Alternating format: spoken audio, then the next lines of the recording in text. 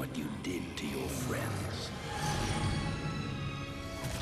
Your kind, haunting the wilds unchecked until we found you.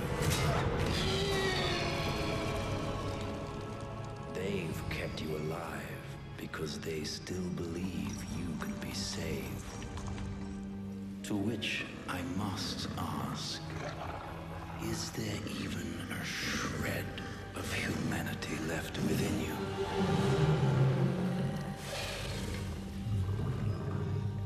Perhaps we will find out soon enough.